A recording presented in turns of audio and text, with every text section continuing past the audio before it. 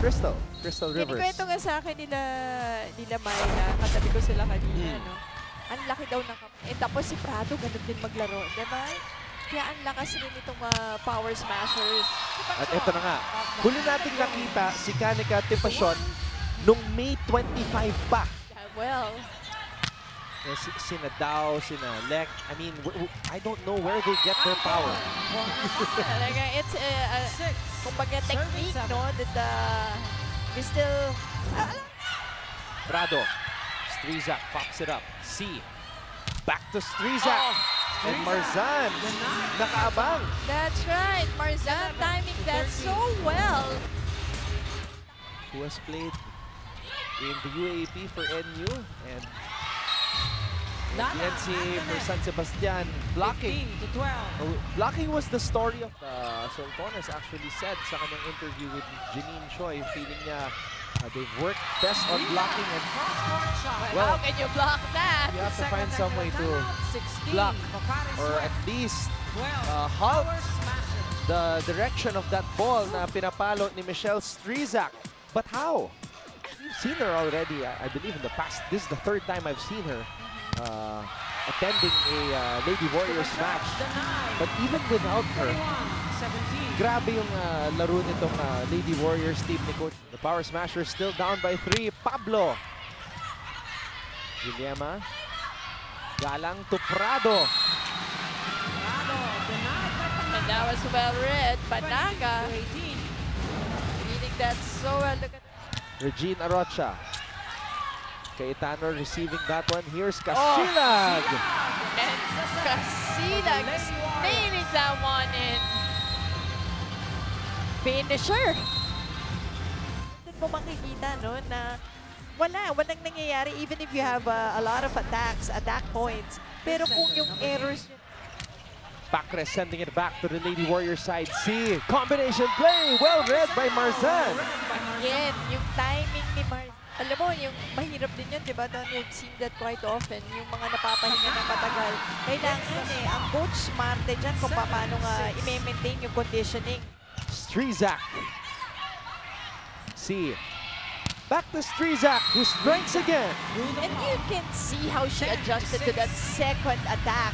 Hindi, di ba, hindi Able to continue this rally. Oh.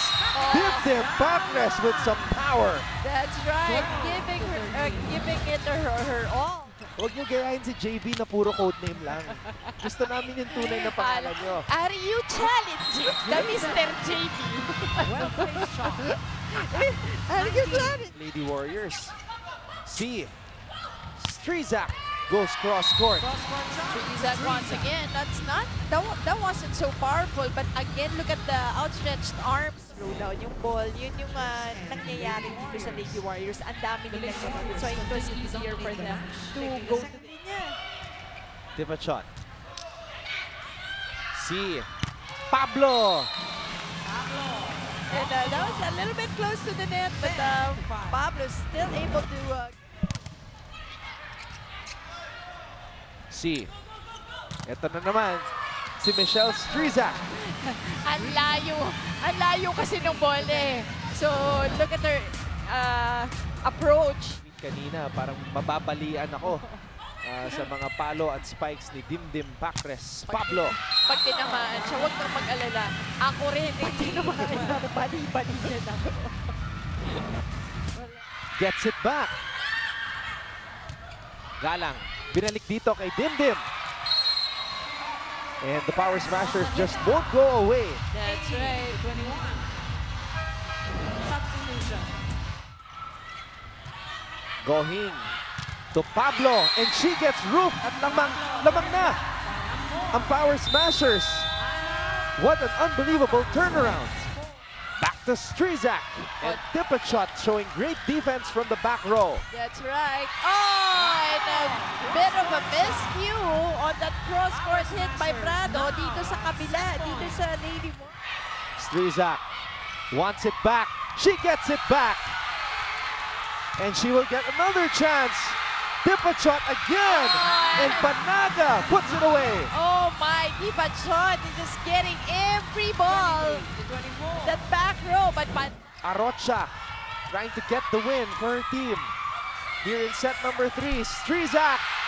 Oh, It's short, and the Power Smashers stay alive. For the Power Smashers. Stay in your seats, folks. what a set. And we have to uh, commend yung laro ni Tipachot, lalo na sa Correct. towards the end. To Arocha. Si Pablo. Oh. Wow, this time that's just too much for Di Pachot. Three to one. And Myla apologizing Ah. to Tipachot who acknowledged Guillema. See? Strizak from the back row. Back row. And that uh, gets the spot. Si Strizak yung hindi masyado. Here's Tipachot. Oh, and Di Pachot smart. He just uh, going for that push. And I think now, uh, ito nga power smash. Prado. Si. Binigay dito kay Strizak. And nandun na eh, nandun na si Galang. Alam niya na it was uh, going to go cross court. But uh, hindi. I, I love watching all of these girls blend in with our Filipino players, di ba? And uh, achieve one goal to win games and uh, go to the championship. 17. So ako rin, nat- Panaga. Prado. Tipachot. There we Diesel. go. Ayun, di ba? Di? Exactly what I'm saying. The power is there. Di ba? Right. Prado mula sa back row. Tipachot na naman. Bicar to a running Amport. Finding the corner. Finds the corner. And the That's Power right. Smashers get the point. Ayan na, 19. pati si ang point goes to the Lady Warriors. Prado. Bicar. Amport na naman. Second try. Galang. Bicar. On the second touch. And Picar winning that joust and uh, outsmarting everyone on the. Dadang. That's on the line. That's right. Dadang getting a point on that quick hit. Si Pablo. Sabi ni Pablo, hindi pa pwede. Getting another point on that off the block. That's in. Bicar, back set para kay Jovi Prado, and we will go to a deciding fifth set. 25 to 22. What? Uh, not Jeng Wally, my mistake Oh earlier. yeah. Sinabi mo ba siya si Jeng? yeah. From the beginning, we knew na itong dalawa, yung matchup nito ng uh, Lady Warriors at the Power Smashers, napakaganda. In spite of uh, the Lady Warriors missing back set para dito kay Jovi Prado. Prado sees the hole. Three. Prado nakabawi. Strizak, there you go. Vicar, Tipachot. Pachot. Na talagang uh, parang nagpagas lang ng first two sets eh. Yes, thank you for being uh, active also sa social media.